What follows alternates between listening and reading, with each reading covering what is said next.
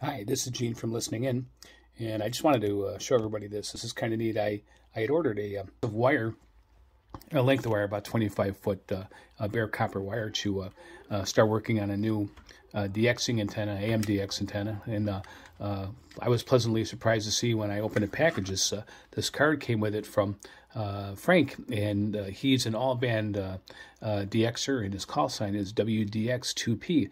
That's pretty neat, and if you flip the card over, right on the back here, it has uh, his uh, signal report that he puts together to send to uh, uh radio stations for a, a, QSL report.